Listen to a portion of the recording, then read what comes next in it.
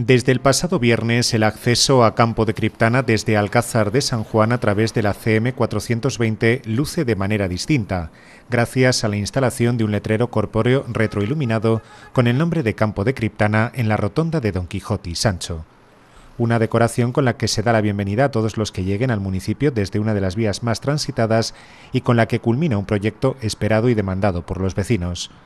Así lo manifestaba el primer edil Santiago Lázaro durante el encendido de este letrero, indicando que se culmina el embellecimiento de este conjunto tan singular, permitiendo a los viajeros observar desde la distancia donde llegan y a los criptanenses redundar en el orgullo de pertenecer a este pueblo.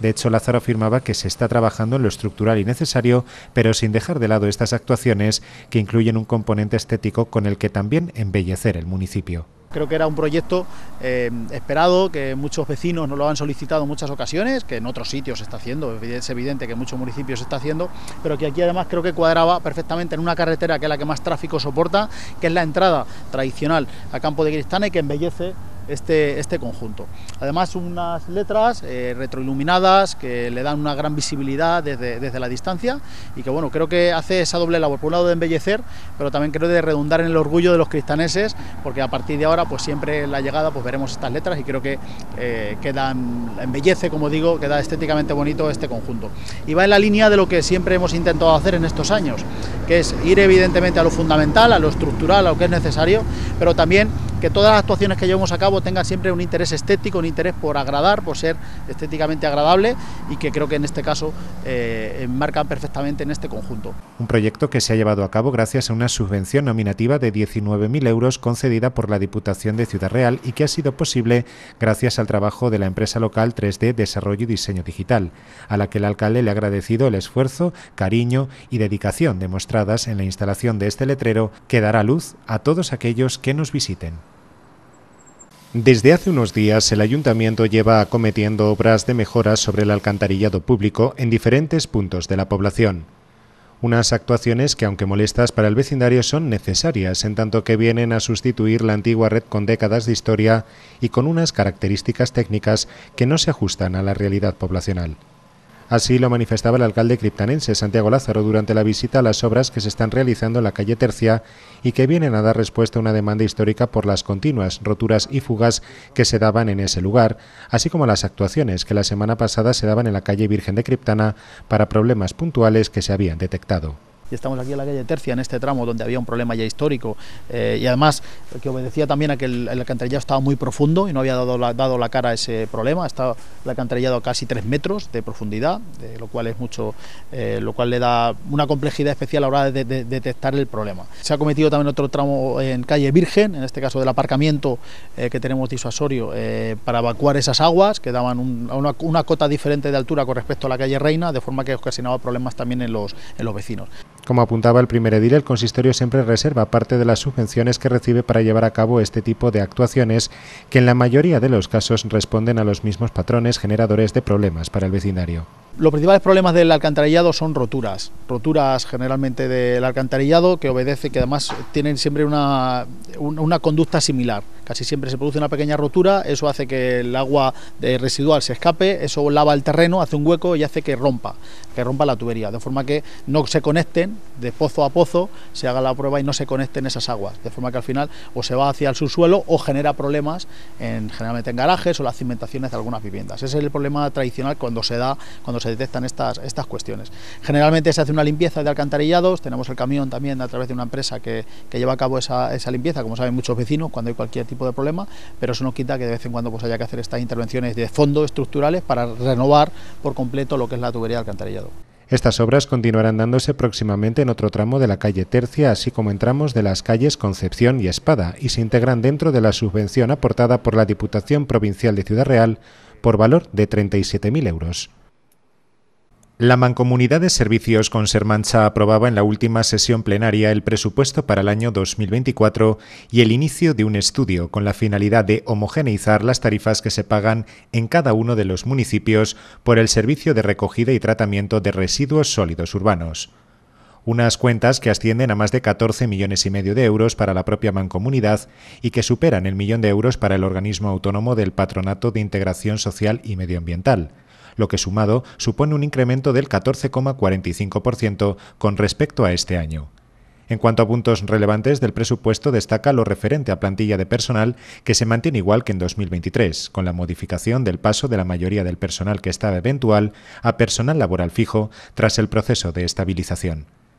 Por otro lado, y con el voto a favor de todos los asistentes, a excepción de una abstención, se aprobaba el inicio de un estudio para homogeneizar las tarifas que se pagan en cada uno de los municipios por el servicio de recogida y tratamiento de residuos, en tanto que el objetivo pasa por establecer unos criterios comunes que garanticen la equidad entre los ciudadanos y ciudadanas, ya que el servicio de recogida y tratamiento de residuos cuesta lo mismo independientemente del municipio donde se viva. Igualmente, se aprobó destinar las cantidades sobrantes de todas las partidas al Fondo de Compensación, creado hace años por la Mancomunidad para ayudar a hacer frente a gastos e inversiones no previstas el próximo año. Antes de esa reunión, los miembros de la corporación visitaron las instalaciones de la planta de residuos sólidos urbanos, donde pudieron comprobar las mejoras y adaptaciones que se han realizado en los últimos años una visita guiada por el jefe de la planta, Jesús Sánchez, que explicó a los representantes municipales todo el proceso que se realiza en la instalación, desde que llega la basura por la báscula hasta que se separan los materiales valorizables de los que no lo son. También se mostraron las mejoras que se han hecho en la planta con los fondos FEDER en 2022, como la nave de combustible sólido recuperado, la playa de fermentación, el vertedero y la planta de biogás, donde se les informó de cómo se aprovecha el gas que se genera en la planta con los residuos.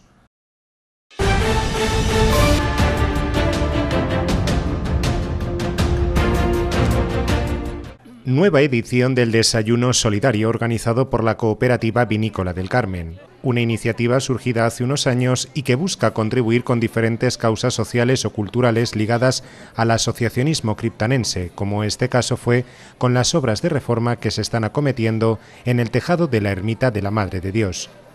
Más de 400 personas participaron de este evento que volvió a desarrollarse en el patio exterior de la cooperativa, reuniendo a vecinos y vecinas que pudieron disfrutar de un desayuno servido por la propia organización y voluntarios de las hermandades que tienen su sede en la Madre de Dios saldándose la cita como todo un éxito y agradeciéndose a los presentes su predisposición para colaborar con ese evento y por extensión con el fin al que iba dirigido. Muy agradecidos a todas las personas que, vienen, que comparten con nosotros. Para nosotros es muy grato eh, ver este patio lleno de gente por una buena causa, para mm, poder eh, contribuir, aunque sea con un granito, a la restauración del tejado de la Madre de Dios. Y bueno, muchísimas gracias sobre todo a, las hermandades. Eh, que son que tienen allí a, sus titulares, como es Jesús Nazareno, como es San Antón y como es el, Santo Entierro, porque sin ellos tampoco se podría hacer todo esto. Todo esto lleva mucho trabajo, hay que ahora estar sirviendo y, gracias a, todos ellos se ha podido hacer, bueno, y también a su empeño en vender las entradas. El proyecto acometer en la Madre de Dios tiene estimado un presupuesto de 120.000 euros en lo que viene a ser la reforma del tejado y la cubierta. Una actuación muy necesaria y a la par ambiciosa, sobre todo para recuperar este recinto religioso de alto valor histórico y artístico. De ahí que las hermandades que están presentes se hayan involucrado tanto con la iniciativa y agradecieran a su vez el hecho de que Vinícola del Carmen las hubiera tenido en cuenta para destinar la recaudación obtenida con el evento a este proyecto. Es de agradecer la iniciativa que tuvo la cooperativa para el desayuno solidario y agradecer por supuesto a toda la gente que, está aquí, que ha colaborado y, gente que a lo mejor ha querido venir ya pues no, no podía ser. Quiero agradecer eh, a la cooperativa a su presidenta por este, este detalle, que siguiéramos trabajando, como dice nuestro querido alcalde, eh, habrá que hacer más cosas porque no llegamos, no llegamos, y, pero sabemos de la solidaridad de, de Cristana. ¿no? Participando también de esta iniciativa estuvo presente el alcalde criptanense Santiago Lázaro, quien volvió a destacar el elevado grado de compromiso de los criptanenses con todo tipo de causas sociales y solidarias. Si a esto se añade la sensibilidad que vecinos y vecinas tienen con el patrimonio y con tradiciones tan arraigadas como las que representan las hermandades, la cita se saldaba una vez más como todo un éxito y ponía de manifiesto la necesidad de trabajar unidos para alcanzar los mejores resultados. Igual que ha pasado en estos últimos años, pasó con la ermita de Santana, pasó hace unos años, hace más años todavía con el convento, pues este pueblo siempre tiene esa implicación desde las asociaciones, en este caso desde la cooperativa Vinícola del Carmen, para que entre todos logremos, con colaboración de todos, de instituciones, que es importante que lo hagamos, pero también de todo el pueblo, que lo siente como suyo, hagamos esa labor también de colaboración, de una manera lúdica además, lo cual ayuda también, pasarlo bien en torno a un buen desayuno como vamos a disfrutar en este, en este patio y poder colaborar con estas hermandades de Santo Entierro, de San Antón y de Jesús de Nazareno, que han hecho, están haciendo un esfuerzo importante. Con este desayuno solidario, Vinícola del Carmen daba por concluida la campaña y casi el año, el cual se ha caracterizado por una intensa actividad que han llevado a cabo con numerosas iniciativas y actividades con las que hacer el negocio más rentable para sus socios. Leal afirmaba que más allá de los trabajos agrícolas, la institución estaba trabajando por estar presente en más aspectos de la sociedad criptanense, por lo que el balance que realizaban de lo conseguido era altamente satisfactorio. Es un broche de oro a la campaña por lo que haya sido, porque se ha pasado, porque se ha hecho la, recolección, porque mm, las cosas han salido bien en, su medida. Bueno, probablemente eh, cuando han faltado kilos eh, no podemos decir que ha sido tan bien, pero bueno, es algo que ya, que ya está superado. Pues ahora agradecer todo lo recibido y a pedir pues por, el nuevo año, por nuestra lluvia, eh, porque no haya maldades y por seguir trabajando y seguir adelante. En definitiva, un desayuno exitoso para hacer frente a un proyecto ambicioso, cuyas obras comenzarán próximamente y tienen estimada su finalización para el próximo 28 de febrero. Dirigido a empresas y centros educativos del sector agrario y agroalimentario de Castilla-La Mancha, como EFA Molino de Viento en nuestro municipio, ayer el complejo Huerta Criptana acogía un nuevo encuentro CaixaBank Dualiza, que bajo el título Retos y oportunidades de la FP Dual en estos sectores buscaba poner en interrelación a estos participantes con jornadas de formación y conocimiento de experiencias. De esta manera, los centros educativos exponían cuáles eran sus líneas formativas y las empresas las necesidades que demandaban de los futuros trabajadores del sector, creando así las sinergias necesarias para avanzar en la dualización de la FP y ser más competitivos en las nuevas áreas que potencia la nueva ley de formación profesional. Estos encuentros eh, quieren ser un espacio de reflexión, pero también para identificar nuevas necesidades formativas y para tender puentes entre los centros y las empresas y avanzar en la dualización de la formación profesional. La colaboración con las empresas y los centros es fundamental para que las empresas del sector agroalimentario encuentren los perfiles necesarios para ser competitivas y enfrentarse a los retos actuales de sostenibilidad y digitalización. Entendemos que esa es eh, la única eh, salida, la mejor solución para el futuro de la formación profesional y que además será un imperativo con la nueva ley de formación profesional que ya está implementándose en el Estado. Nuevos tiempos para el sector en lo referente a digitalización y sostenibilidad que empezarán a estar más presentes con el desarrollo total de la legislación a partir del próximo curso.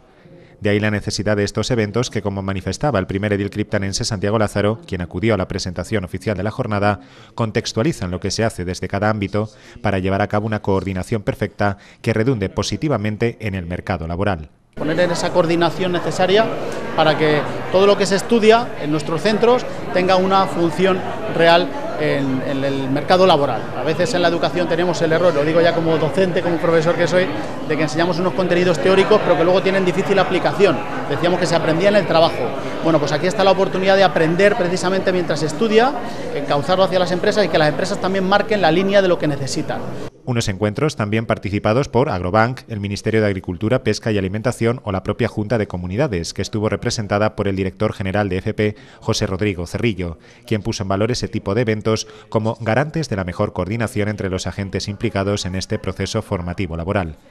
En este sentido, Cerrillo significó el esfuerzo de la Administración Regional por la formación profesional, que en este sector beneficia a más de 1.500 alumnos y alumnas de toda la región. Desde la Consejería de Educación hacemos un, esfuerzo muy importante a la hora de participar en la formación de alumnos eh, en el sector agroalimentario y en el agrario. Hacemos una inversión de más de 4 millones de euros anuales para que los chicos y chicas jóvenes de nuestra región puedan trabajar en un sector que ahora mismo es punta de Llegamos a más de 1.500 alumnos y este tipo de actividades, lo que hacen este tipo de encuentros entre centros educativos y empresas, yo creo que enriquecen la formación del alumnado y ayudan a que adquieran un mejor aprendizaje significativo de los contenidos que luego van a, van a desarrollar en la empresa. Así pues, interesante jornada que combinó a la perfección las charlas formativas con las actividades prácticas y que trajo consigo unas conclusiones más que satisfactorias para todos los participantes. Integrantes de la Federación de Atasias de España visitaban en la jornada de ayer nuestro municipio para conocer algunas de las singularidades patrimoniales de la localidad y participar de una cata comentada en una de las bodegas criptanenses. Es así como la expedición llegó hasta la Sierra de los Molinos y allí fueron obsequiados con una explicación sobre la importancia de estos monumentos para la vida económica y turística de la población una actividad que se integraba dentro de la programación que la Federación va a desarrollar a lo largo de este fin de semana y que culminará en Ciudad Real con la celebración de un congreso que reúne a profesionales del ámbito sanitario para compartir experiencias e investigaciones acerca de esta enfermedad rara de la que se diagnostican en España aproximadamente unos 13.000 casos. La atasia es una enfermedad rara. Dentro de la rara es de la más común y se caracteriza por una falta de pérdida de equilibrio, empieza con falta de equilibrio, luego va progresando porque es degenerativa y va progresando en la, todo lo que son las órdenes que da el cerebelo a, a través del sistema nervioso a dos músculos pues van perdiendo funcionalidad y las señales no llegan bien, con lo cual empieza con la pérdida de equilibrio, luego la pérdida de movilidad en las piernas, eh, y rudas, los movimientos finos no los controlas bien, es que son un montón de síntomas y cada persona es un mundo. Es por ello por lo que en aras de dar visibilidad a este tipo de patologías y promover actividades con las que hacer que quienes las padecen disfruten en la medida de lo posible de todo tipo de alternativas, la Federación de Atasias de España promueve estas citas que se enmarcan en sus objetivos fundacionales. Tenemos dos, dos objetivos grandes, que es por una parte lo que es todo el tema de investigación. De hecho, ahora hacemos este fin de semana en Ciudad Real una jornada científicas que vienen neurólogos e investigadores de todas partes de España. Y también no sé si este año viene alguno extranjero pero también porque a nivel a nivel nacional somos el referente en nuestra patología. Y luego otra parte de lo que hacemos es tratamientos complementarios, pues es fisioterapia, logopedia, yoga, psicología, este tipo de tratamientos. Y hacemos programas de ocio porque la gente, aparte de, de estar pendiente de lo que es la investigación o de los tratamientos paliativos que hay, tiene que vivir y para mí es muy importante vivir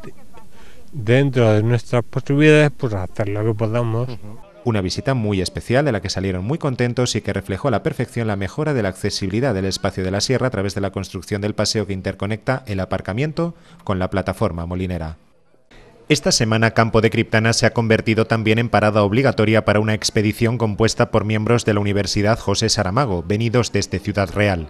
un programa ofrecido por la propia Universidad de Castilla-La Mancha como alternativa a todas aquellas personas que encuentren placer en el estudio, fomentándose así actividades para favorecer el encuentro y el intercambio generacional con las que mejorar su situación y las capacidades personales y sociales de sus participantes. Es por ello por lo que la visita al municipio se convirtió en una de esas alternativas con las que profundizaron en la historia y conocimiento de la localidad, siendo conducidos en un tour turístico por algunos de los elementos patrimoniales más significativos como el Molino Burleta, el Molino de Sara Montiel, el Centro de Interpretación de los Molinos, la Casa Cueva o el Museo El Pósito. Fue aquí donde fueron recibidos por el alcalde e integrantes del equipo de gobierno que les dieron la bienvenida informándoles de manera magistral sobre la importancia de ese edificio para entender el pasado molinero de Criptana.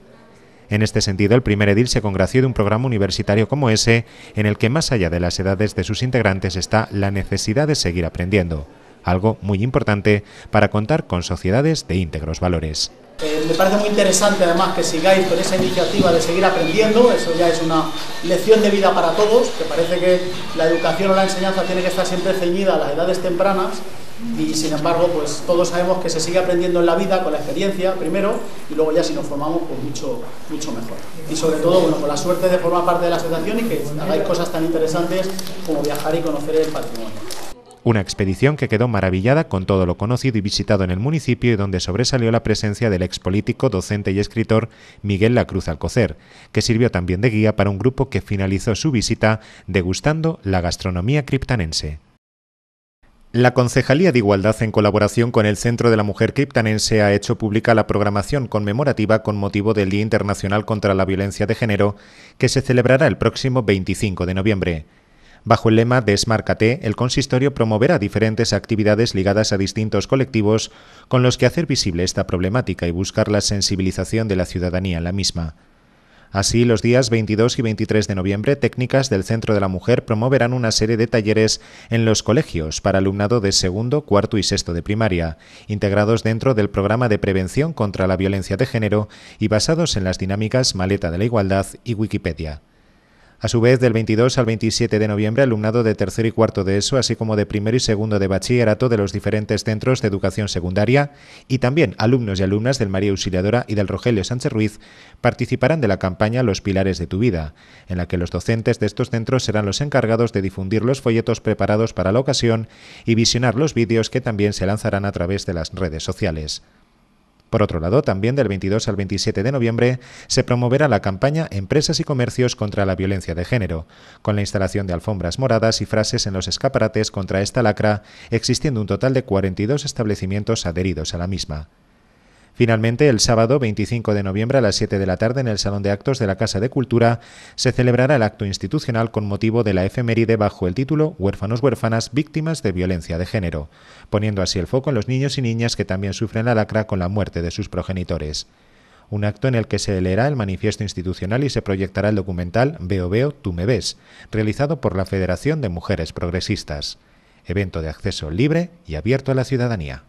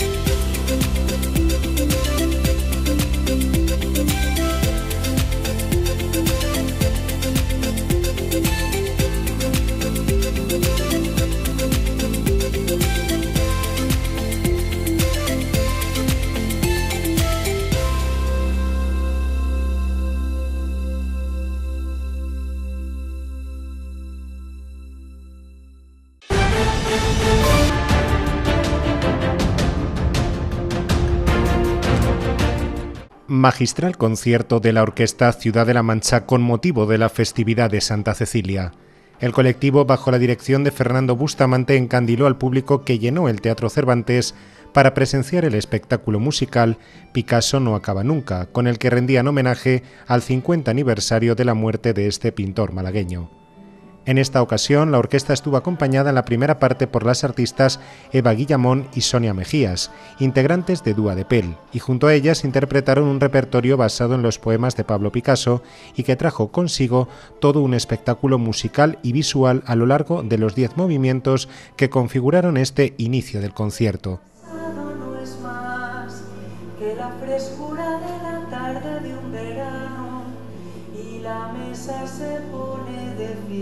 Con flores. El pasado no es más que la frescura de una tarde de verano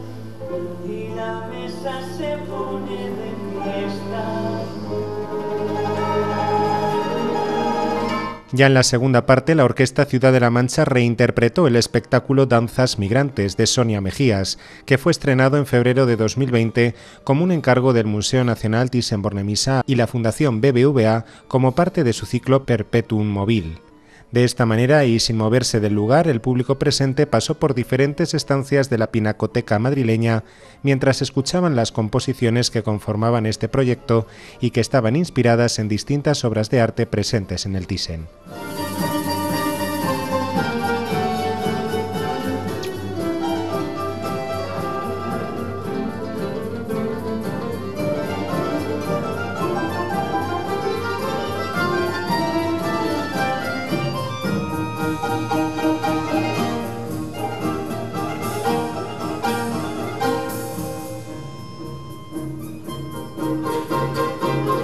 Nuevo éxito de esta gran orquesta que podrán seguir este fin de semana en la habitual programación especial de Mancha Centro Televisión. Una vez más, las puertas del Museo El Pósito se abrieron a la cultura con la presentación múltiple de varios libros escritos e ilustrados por el valdepeñero Luis Chacón, un licenciado en ciencias ambientales aficionado a las letras y el dibujo y que desde hace años viene dando salida a estos hobbies con la publicación de obras en las que el humor y la esencia manchegas están más que presentes. A esto se unía el carácter benéfico que busca con sus publicaciones, ya que, como él mismo expresó durante la presentación, gran parte de los beneficios obtenidos con la venta de sus libros van a parar a colectivos sociales, como fue en este caso la Junta Local de la Asociación contra el Cáncer, quien se convirtió en la perceptora de la recaudación de ese día, así como de la que venga con la venta de ejemplares de todos estos títulos en las papelerías de la localidad. El escritor se vio acompañado en esta presentación por la concejala de Cultura, Ana Sánchez Alarcos, y por la presidenta de la asociación, María Ángeles Reillo, así como por un nutrido grupo de personas con las que compartió numerosas anécdotas y lo que él calificaba como tontas, con las que hace reír y defender un género literario como es la comedia. De hecho, esto es lo que se percibe en cada una de las obras que forman parte de su colección. Dios mío, he perdido a mi abuela es un libro divertido y conmovedor que narra la historia de Juana Mari, una niña que se ve en la situación de tener que buscar a su abuela desaparecida en un pequeño pueblo mientras sus padres están ausentes. Una narración fluida y ágil con un lenguaje sencillo y accesible a todos los públicos y que está acompañada de ilustraciones que complementan la trama de manera acertada. Por otro lado, Peripecias de un niño tiquismiquis es un cuento para pequeños y mayores, también en la línea del humor, en la que Chacón narra las aventuras que él mismo vivió con su hermano en la infancia, haciendo memoria de esas travesuras que todos los niños llevan a cabo y reviviendo así momentos de la infancia que sacaron más de una sonrisa a los presentes. Con la obra Los jubilados los carga el diablo se pone en confrontación la vida de ciudad con la del pueblo, representada en el abuelo que protagoniza la obra frente a su nieto llegado de la capital dos estilos de vida completamente opuestos que traerán consigo la aparición de numerosos conflictos entre ambos que configuran también una comedia entrañable, llena de guasa y aderezada por la idiosincrasia, la ternura y el surrealismo de la gente mayor de los pueblos de la Mancha. Por último, Las siete vidas de Mawiwi narra la historia de un gato, el menor de una camada de cinco, y que viene a ser una piltrafilla, que sin embargo tiene más valor que todos sus hermanos juntos. Esto le hace meterse en unos líos monumentales que lo llevan a terminar muriendo a lo tonto, aunque con siete vidas puede continuar con su existencia sin darse cuenta que cada vez va teniendo una menos y ya corre peligro. Unas historias sencillas y sobre todo cargadas de buen humor para divertirse con la lectura y no mirar más allá de unas aventuras que narran lo cotidiano de nuestros pueblos y que fueron compartidas durante ese acto de presentación lleno de buen rollo y que finalizaba con la firma de ejemplares por parte del autor. Recuerden que están a tiempo de adquirir ejemplares de estas obras en las papelerías Arias y El Molino. Alumnado de cuarto de ESO fue el público privilegiado que pudo disfrutar casi en exclusiva de la obra de teatro Gitano, producida por Juan Ramírez e interpretada por el actor pedroteño Fran Gómez. Una actuación con la que se pretende sensibilizar sobre la cultura y la inclusión de la población gitana en aras de una igualdad real y efectiva. La obra gira en torno a Juan, interpretado por Gómez, el cual contará su historia personal que podría asemejarse a la de cualquiera. Hablaba sobre que había nacido y crecido como un niño feliz hasta que la cultura de la sociedad que le rodeaba le hizo saber que pertenecía a una familia de etnia gitana. El protagonista se enfrentará entonces a varios miedos y cuestiones como la inclusión de un gitano en la sociedad, la búsqueda de querer ser solo uno más sin distinción o los miedos y complejos de verse diferente a los demás, entre otros. Sí, me la ha traído mi padre de su viaje. ¡Otra qué chulo, Marco, tío! En, el recreo lo sacamos. Vale, vale, pero juega quien nosotros dos digamos, ¿eh? Vale, vale, pero, cuanto más juguemos mejor, porque así podemos hacer fútbol en la pista del recreo. Ay, es verdad, es verdad. Pero el valor es nuestro, ¿eh, Marco? Gracias, tío, Marco. Gracias. ¿Gracias de qué? Si lo que es mío es tuyo. Marcos era mi mejor amigo. Un payo listo. Mira que raro, pero... De esta manera y de forma magistral, Gómez, a través de este monólogo, ahondó en la cultura e historia del pueblo gitano, reivindicando la defensa de los derechos y la lucha contra la discriminación y las situaciones de desigualdad y vulnerabilidad que ha sufrido y sigue sufriendo el pueblo gitano. Yo nunca llegaba llorando a mi aquel abril se convirtió casi como de costumbre, ¿no? Llegaba a mi casa y me, encerraba en la habitación porque no quería que me viera llorar nadie. Ni mi padre, ni mi madre, ni nadie.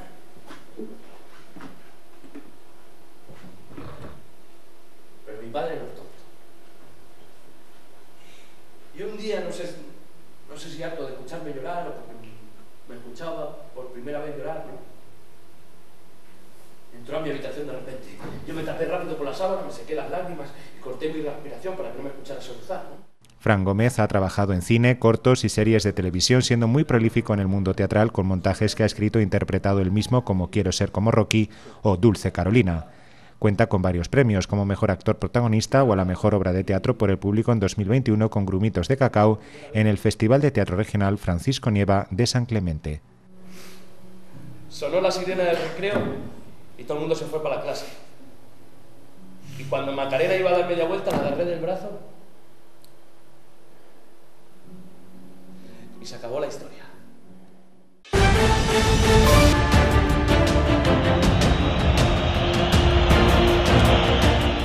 Por segundo año consecutivo, el Club Natación Criptana Gigantes ha vuelto a revalidar el título de campeón regional de larga distancia, venciendo a otros 11 clubes de Castilla-La Mancha. Una gesta que logran tras la consecución de cuatro medallas y varios cuartos puestos, además de la suma de puntos de muchos de los integrantes que en su mayoría se estrenaban en este tipo de pruebas de 2.000 y 3.000 metros de distancia. Desde la dirección técnica del club, su entrenador Alberto Muñoz se mostraba satisfecho de los resultados alcanzados al ser una prueba casi piloto de la nueva temporada y con la que se testó a muchos de los nadadores y nadadoras, los cuales se enfrentaron a este reto por primera vez. No es una competición que lleve muchísima gente porque es a principio de temporada, son pruebas bastante duras y eh, sabíamos que, podía, que se podía volver a intentar. El año pasado ya se hizo eh, y este año pues había que volver a intentarlo convenciendo a los chicos porque son pruebas duras de que, de que intentaran ir a intentar conseguir los máximos puntos posibles. Muchos de los que fueron el año pasado por unas cosas u otras no podían repetir este año, así que al final, pues bueno, fuimos convenciendo a gente que no lo había hecho todavía para intentarlo, sobre todo a los pequeños, los infantiles, que son los que tengo por aquí detrás, que eran pruebas un poquito más cortitas, bueno, más cortitas, son 2.000 metros, la de los, la de los juniors y absolutos eran 3.000 y nada, muy bien, la verdad es que buen debut, porque muchos de los que debutaban ya empezaron con medallas, eh, algunos de los que repetían también. Con dos meses a sus espaldas como entrenador, Muñoz está altamente sorprendido del nivel de muchos de los integrantes del club, sobre todo de aquellos que están en edad de competición oficial, de quienes destacaba su elevado compromiso y sacrificio casi diario por conseguir los mejores resultados no solo en los entrenamientos, sino en las propias competiciones. No se puede decir que tengan falta de compromiso, están aquí día a día sufriendo, además, en concreto parte de estos que vinieron a, esta expedición, como dices, de larga distancia, pues son del grupo infantil, junior, es el grupo de los más mayores del club, que al final implica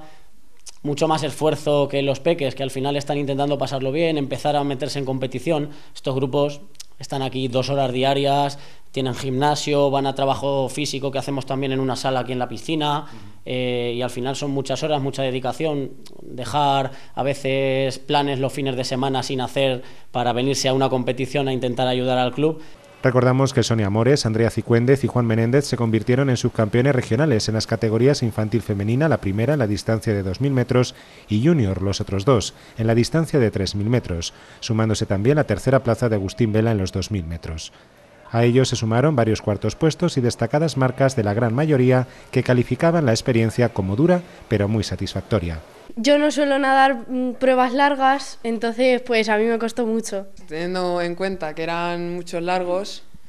pues mm, no me esperaba que me iba a salir tan bien. No sé, duro, eh, muchas series largas y eso. La prueba ya era la del año pasado y también se me dio muy bien. Y pues, a ver, yo suelo nadar pruebas de este tipo, pruebas largas. Y normalmente no, yo suelo nadar 50, 100 y esas cosas. Entonces era un reto casi para sí. ti. ¿Muchos entrenamientos? Sí, muchos metros y todo eso. Y es que, como bien nos indicaba, la clave para enfrentarse a este tipo de pruebas está en los entrenamientos, no solo en el agua, sino en seco, donde hay que prepararse bien físicamente y no venirse abajo de mente durante el transcurso de la competición. El físico, el físico es muy importante y sobre todo el, fondo, el fondo, hacer tiradas largas, hacer series de muchos metros en el entreno y y luego pues coger la prueba con ganas y sin miedo. La prueba bastante larga, la verdad. Pero bueno, al fin, como dice Fernando, vas pensando muchas cosas y vas viendo a la gente y pues al fin y al cabo pues estás entreteniendo, llevándole el ritmo a la gente. Grandes resultados para unos campeones gigantes y un club que continúa la actividad, incluso con la organización de eventos de carácter deportivo y solidario, como la jornada que celebrarán el próximo 2 de diciembre y que combinará los relevos solidarios con sesiones de aquallín, donando la recaudación obtenida con los donativos a la Asociación contra el Cáncer. 100 series de 100 personas en equipos de 10, para los peques serán 100 por 50, pero bueno, el objetivo al final es cobrar, no creo que eran 5 euros por persona que participe. Eh, se va a hacer en colaboración con la Asociación Española contra el Cáncer de aquí de Campo de Criptana. Y nada, bueno, pues animamos a la gente porque no va a ser solo para el club. La idea es invitar a clubes de localidades vecinas y, y animar a gente, pues oye, padres de nadadores, gente que lo vea, que lo vea en la tele, si se quieren pasar a colaborar, creo que supongo que la asociación pondrá un stand con, con cosas que venden ellos para sacar dinero para la asociación, así que nada, yo animo a la gente que venga, si no es a nadar, pues a aportar ahí un granito. Toda la información sobre este evento la tienen a su disposición en las redes sociales del Club Natación Criptana Gigantes. Segunda derrota de la temporada para el criptanense de primera autonómica en su desplazamiento este fin de semana hasta el campo de Mota del Cuervo. Los de Alberto Montoro regresaron con un 3 a 2 en su contra, a pesar de mostrar un buen juego a lo largo del encuentro y poner en serias dificultades a unos anfitriones que se llevaron la victoria en los últimos compases. De hecho, los criptanenses se adelantaron en el minuto 9 gracias al tanto de Alberto Fernández y pese a las continuas llegadas al área de sus rivales, no fueron capaces de aumentar esa ventaja en el primer tiempo. Tras la reanudación del partido, los moteños tomaban la iniciativa y empataban el encuentro en el 69 con gol de David Moreno, que fue rápidamente contestado una vez más por los criptanenses con el tanto de Cañas en el 72. Sin embargo, los locales, lejos de venirse abajo, aprovecharon el despiste de la defensa criptanense y nuevamente Moreno ponía las tablas en el luminoso y cuando todo parecía que iba a acabar en empate, Antonio Manjabacas en el 89 daba la alegría a su público y marcaba el 3 a 2 definitivo, que roba al criptanense la puntuación por esta semana y lo deja anclado en la sexta posición con 13 puntos, empatado con el Manchego y las Mesas. Victoria in extremis del Primera Nacional masculino ante un gran básquet Cervantes. Se iniciaba el partido con una primera parte muy fría de los locales, costándoles entrar en el partido e imponer su juego ante unos visitantes muy seguros en su faceta interior. Aún así, cuatro minutos antes del descanso, los verdes lograron adelantarse por cuatro puntos gracias a las transiciones y al tiro exterior. La segunda parte sí se vio mucha igualdad por parte de ambos conjuntos y aunque de nuevo la entrada fue fría y sin ideas ofensivas por parte de los locales, estos se agarraron a una buena defensa durante todo el partido para paliar sus malos minutos en ataque. Así se llegó a los últimos cuatro minutos del partido con un margen de más 11 para los criptanenses que no supieron aprovechar y que casi les arrebatan los ciudadraleños con una zona cerradísima unida a tiros libres y de tres con los que empataban el encuentro y lo mandaban a la primera prórroga. En este periodo extra reinó el miedo por parte de ambos equipos que no querían arriesgar balones, viéndose reflejado en el marcador 4 a 4 con una canasta sobre la bocina de los verdes para mandar de nuevo el partido a una segunda y definitiva prórroga. Con los dos equipos mermados físicamente se tiró de defensas cerradas y en este periodo sí se vio a los locales jugar con más soltura en ataque, pudiendo correr y anotando 11 puntos clave para llevarse la victoria por 81 a 80. Quienes también jugaron en casa esta semana fueron los Junior Autonómicos, con un gran partido ante el Salesianos Guadalajara. Los alcarreños, que venían como líderes y en un gran momento de forma, pusieron en grandes dificultades a los criptanenses, que se agarraron a la pista y sacaron adelante una brillante victoria. El partido comenzó con dominio visitante tanto en velocidad en el juego como en intensidad defensiva, aunque los locales poco a poco se fueron asentando en la pista y consiguiendo no solo igualar el choque, sino dar la vuelta al marcador gracias a un acierto extraordinario desde la línea de tres, llegando al descanso con el tanteo de 45 a 34.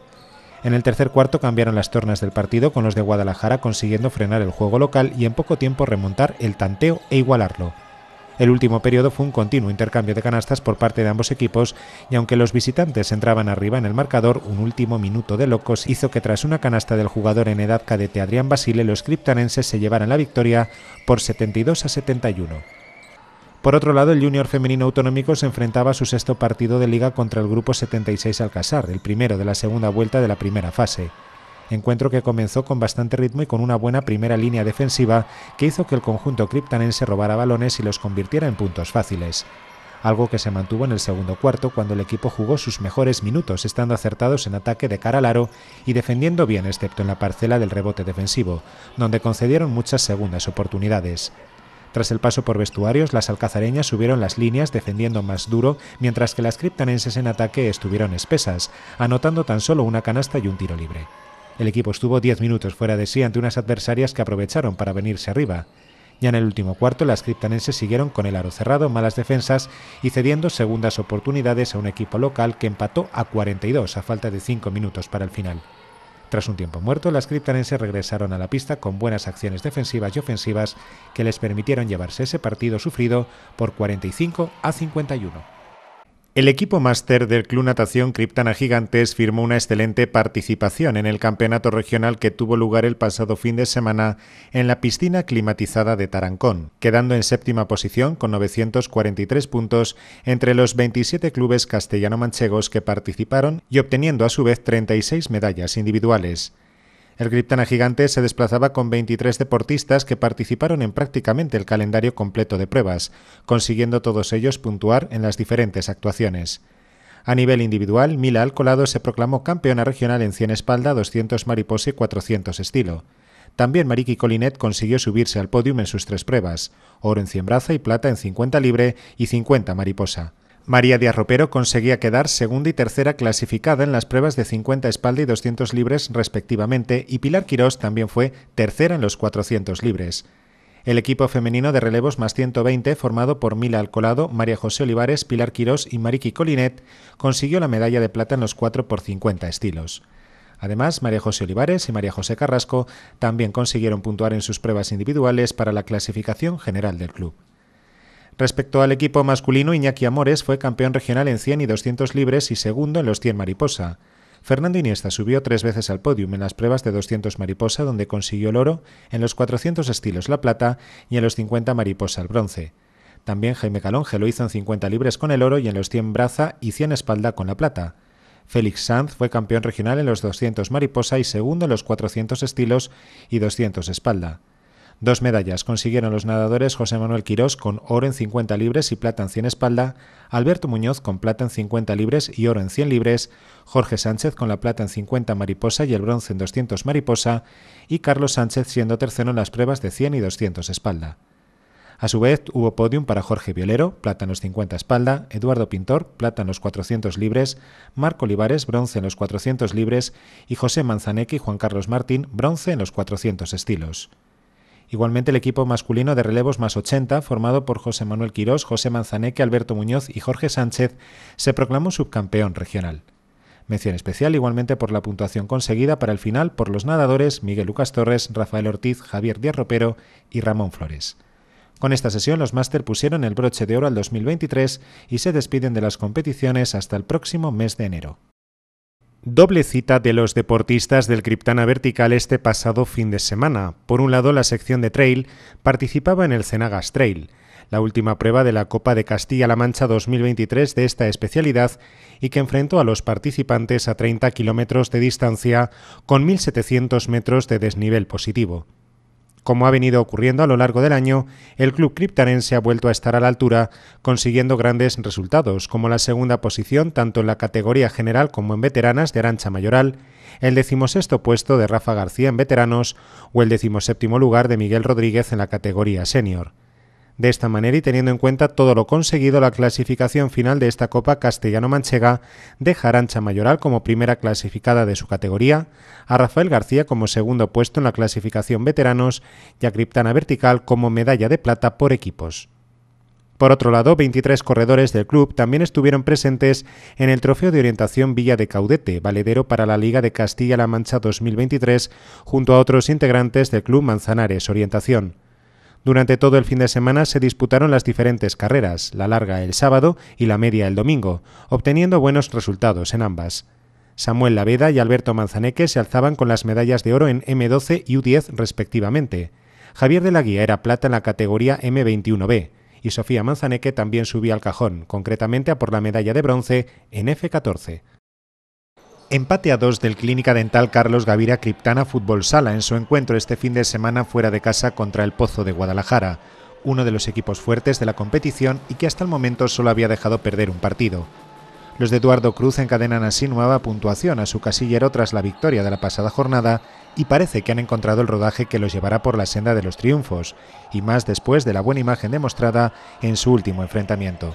De hecho, y pese a empezar por detrás en el luminoso después del tanto marcado por José Antonio López en el minuto 20, los criptanenses no se vinieron abajo y lograban el empate en el 28 gracias al acierto de Juan Manuel Jiménez. Sería diez minutos después de las botas de Carlos Ferraz cuando surgiera el gol que los adelantaba en el luminoso y que hacía la alegría en el banquillo criptanense, algo que duró muy poco porque tras el saque de centro los alcarreños rompían la posibilidad del triunfo con un nuevo tanto marcado por Cristian Garrido y pese a que ambos conjuntos lucharon por hacer el gol de la victoria, el final del encuentro llegó y con él el reparto de puntos para los equipos, encaramándose los criptanenses a la décima plaza con cuatro. La Concejalía de Deportes ha informado sobre los premiados de la próxima edición del Lauro Deportivo Gigantes del Deporte 2023. Una vez acabadas las diferentes fases de votación en las que han participado los integrantes de los diferentes clubes deportivos, se han hecho públicos los nombres de los ganadores en cada una de las categorías. Así, la mejor deportista de la temporada 2022-2023 ha sido la atleta Marta Jaime. El mejor deportista de la temporada absoluta individual ha recaído en el practicante de powerlifting Mario Olivares, que se impuso a los finalistas Iñaki Amores en natación y Arancha Mayoral en orientación y trail. El mejor deportista de la temporada escolar individual ha sido el nadador Fernando Olivares, que se impuso a los finalistas Sara Lucas en gimnasia rítmica y Daniel Escribano en atletismo. El mejor equipo de la temporada absoluta es el senior femenino del Club Baloncesto Criptana, que se impuso al equipo de fútbol 7 del María Auxiliadora y Rogelio Sánchez Ruiz y al Club Natación Criptana Gigantes. El mejor equipo de la temporada escolar ha sido el junior masculino de la Escuela de Baloncesto Criptana, que se impuso al infantil femenino de esta misma escuela y al sub-18 femenino del Club Atletismo Criptana. El mejor deportista con discapacidad intelectual ha sido Pablo Montes, practicante de atletismo y natación, y el mejor deportista con discapacidad física ha recaído en el Club Deportivo Asmigrip en su modalidad de pádel en silla. Los premiados recibirán sus galardones durante el transcurso de la gala Lauro Deportivo que se celebrará el próximo 19 de enero de 2024, mientras que la concejalía, a través de sus redes sociales, irá informando sobre los logros y méritos que han hecho merecedores a los galardonados de esta distinción.